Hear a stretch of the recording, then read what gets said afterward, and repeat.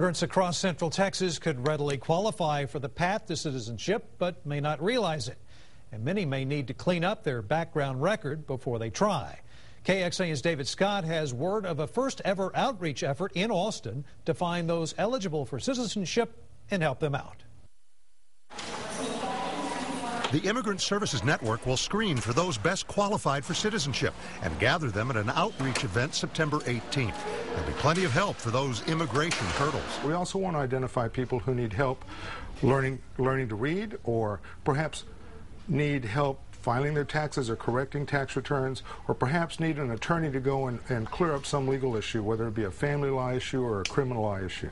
The system has plenty of hurdles. An applicant needs English skills, up to date child support or tax payments, a clean legal record, and no lies to the bureaucracy. That's important. If somebody immigrated through a fake marriage, you know, because maybe they divorced two days after they got, you know, their green card, or they took somebody who wasn't their wife with them to the interview and pretended, um, they're not going to get their citizenship. How many immigrants are in Austin who could readily qualify for citizenship?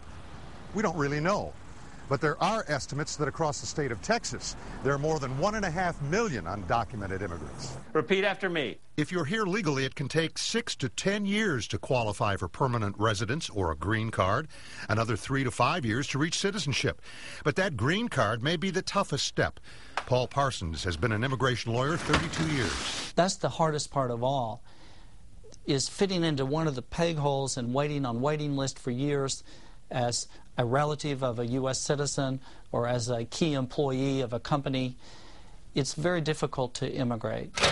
If you're caught here illegally, you technically could be sent back to Mexico for 10 years, a prospect that prompts many immigrants to remain in the shadows. Parsons believes the red tape discourages folks from coming forward.